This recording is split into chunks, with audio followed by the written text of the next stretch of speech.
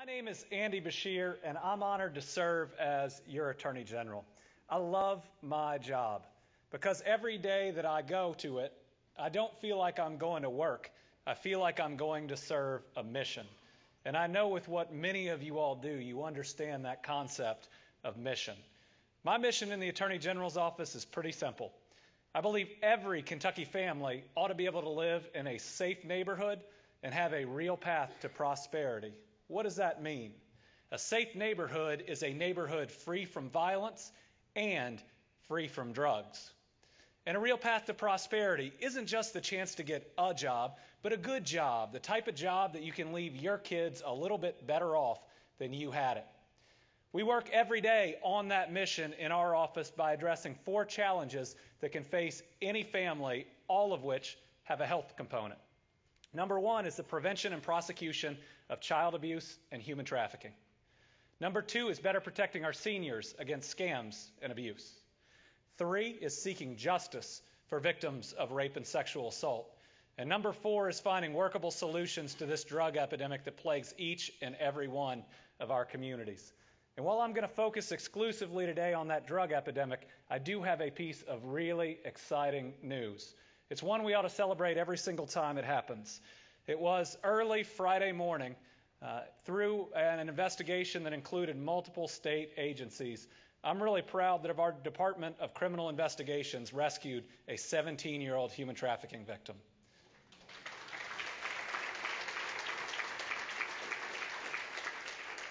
This is our second rescue in about a year, and I hope it shows you the way we approach our jobs because in each situation, we also made an arrest. And we are going to hold that trafficker responsible. They're going to see justice. But the most important person in each and every one of those operations is that victim. And the services that so many of you all in this room provide to them are greatly appreciated. Our drug epidemic.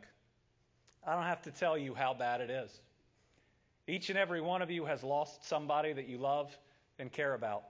Each and every one of you are in a field related to this epidemic, and still you have lost someone that you care about. Everyone's lost someone from their own neighborhood. I have. It was an 18 year old who lived eight houses down from me. His friends, his friends, took his car keys, stole his wallet, and stole his car and left him on a driveway to die, and he did. And his then 16 year old sister, who'd ridden her bike back and forth in front of my house for the five previous years, had to figure out what life means and, and how to go on. That was personal, but it got even more personal to me about two weeks ago. Two weeks ago, I was traveling in downtown Lexington. I was on Broadway and Short uh, with our investigator, Josh Keats, who's here today, and thank God he's a paramedic. We were six cars back from what looked like it was a traffic jam until we saw someone jump out of the first car on the left and start beating on the window in the first car on the right. The person in that car had just overdosed on carfentanil. And as we turned on our lights and rushed over, he was turning blue. He then started turning purple. And as Josh will tell you, the next color is dead. So we wrestled him from that car. He was wedged in. We wrestled him from that car down to the street in the middle of those two lanes of traffic. Thank God Lexington police showed up in time with Narcan. Now all of my investigators carry it, and we were able to revive him. But, folks, this is 3 o'clock on a Thursday afternoon in downtown Lexington. It shows you that this isn't just the single greatest moral challenge of our time, not only was his life in danger, but he was operating a motor vehicle. Your life was in danger too. But what we don't talk about is it's the single greatest threat to job growth, to that path to prosperity that we see in Kentucky. You know, there's a lot of talk in Frankfort about this law or that law and whether or not it promotes jobs. Folks, if we do not get ahead of this drug epidemic, none of those laws will matter no matter who's right on them. Take the mayor from an eastern Kentucky town that came to my office virtually in tears because her Walmart, one of the highest volumes in the state, won't upgrade. Why? Because they don't believe she can find 100 people in a five county radius that can pass a drug test for three weeks. Take the Somerset auto supplier who had to fire 41 people in one shift. But you don't have to go far. Ask any major employer in any major city in Kentucky, and they cannot fill their jobs. They have to decide if, when they put out uh, the information that they're seeking employees, whether they're going to mention they drug test because nobody shows up if they do. Or if on that first interview they do perform those drug tests, most people don't come back. This is the challenge of our times. And I want you to know the Attorney General's office takes it seriously and works to address it every single day. We do it on the law enforcement side. We have a DEA task force. We participate in that task force that chases the worst of the worst fentanyl and carfentanil dealers. And we've had some success. That outbreak that started in Huntington and then moved to Mount Sterling, 12 overdoses, one fatality, jumped over to Louisville over 30 in a 48 hour period, and then up to Cincinnati. We caught a really high level dealer, and through a federal prosecution, he is never, ever going to be able to see the outside of a jail cell again. And when you have sold a drug knowingly that has killed that many people, that's the right result. We continue to have an Appalachian HIDTA task force that makes sure that we don't have rogue doctors and rogue Suboxone clinics that will poison our communities with pills upon pills upon pills. But we also understand that even if we could cut off that flow tomorrow, we have so many people who are out there addicted. And who are they? They're our friends and our family members and our neighbors, and they need help. Yet, from the state level, I don't believe we put nearly enough funding into substance abuse treatment. That's why I was proud as your Attorney General to provide over $8 million of Oxycontin settlement funds to 15 drug treatment centers all across Kentucky. I know some of them are here today.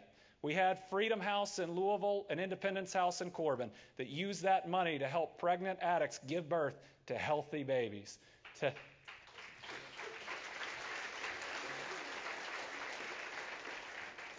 We had the Chrysalis House here in Lexington, Hope in the Mountains that was going to have to shut down in Prestonsburg, that now is Medicaid eligible and able to provide so many services to other people.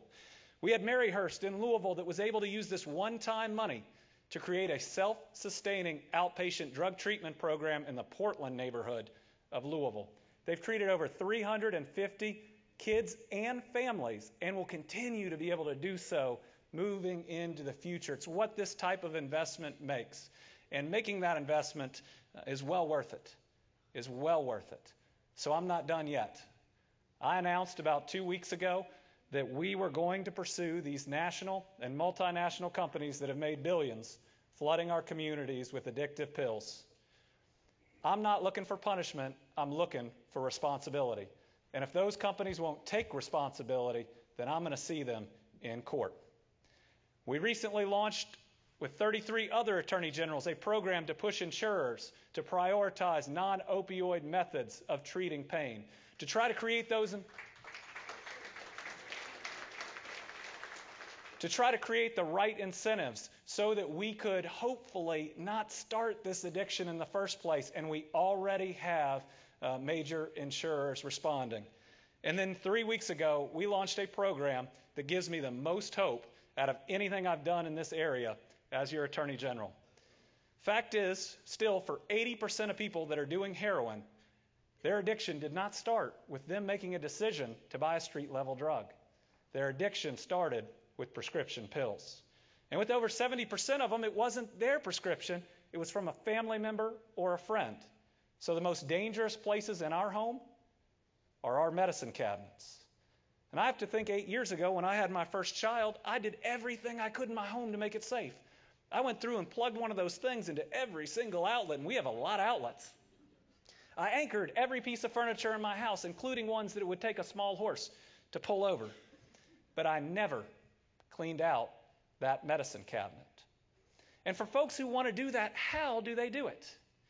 Pharmacies, for the most part, won't take them back, but we're working with groups like CVS and others to try to change that. Hospitals can't take them back in most situations. Just about every county has a drop box, but for many, there's transportation problems, and let's face it, in so many of our communities, you don't want your neighbor seeing you shovel these pills into the box, even if they were a legitimate prescription in the first place. That's why we launched the Kentucky Opioid Disposal Program, where for the first time, people can dispose of their prescription medication safely in their own home. We started with a pilot project which will fund 50,000 drug deactivation pouches in four counties and through senior programs all across Kentucky. It gives us the opportunity to deactivate over 2.24 million opioids that are sitting out there in people's medicine cabinets. And it's so easy. All you have to do is tear off the top of this. You can pour up to 45 pills in it, fill it halfway with water, wait 30 seconds, cinch it, and drop it in the trash. Totally deactivated. You could drink the water, but I wouldn't recommend it. And 100% environmentally friendly. Even the package biodegrades. So think about that. At a time when Floyd County is detecting opioids in their water system, think about that. And I like to think about the hope, not just not just what sometimes seems like the hopelessness in this opioid epidemic. If 80% of heroin users are starting with prescription pills, what if we could clean out every single medicine cabinet in Kentucky? What if we could get a deactivation pouch to every single family to make sure that medicine cabinet is safe? And what if every single time you got a prescription for a dangerous medication, you got the ability to dispose of the part that you don't use. Two things that happen.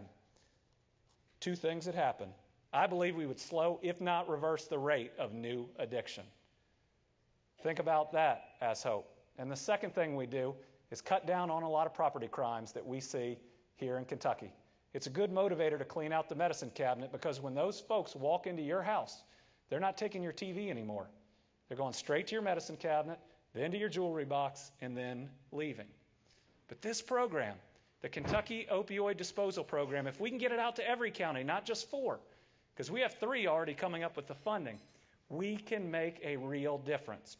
Parents and grandparents won't worry about their kids or grandkids becoming addicted through what is in their medicine cabinet. We can truly impact the supply that is causing the most of our addiction. So I hope both with the Foundation for Healthy in Kentucky, with different organizations that are in your region. I know Northern Kentucky is already doing some of this, that you will partner with us. Every single pouch we get out there might be the difference in between someone becoming addicted or getting to live that fulfilling life uh, without ever having to deal with that demon. Thank you all very much.